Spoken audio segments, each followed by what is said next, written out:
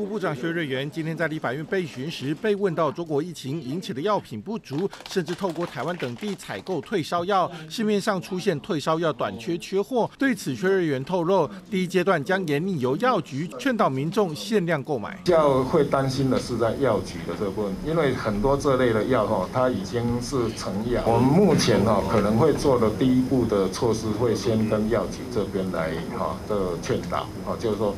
啊，希望他们对于啊，这顾客来购药的时候，给他一个限量，比如说啊，一次只能啊的几颗这样子。对，可能会先这样，但是它不是强制性，是要劝导性的。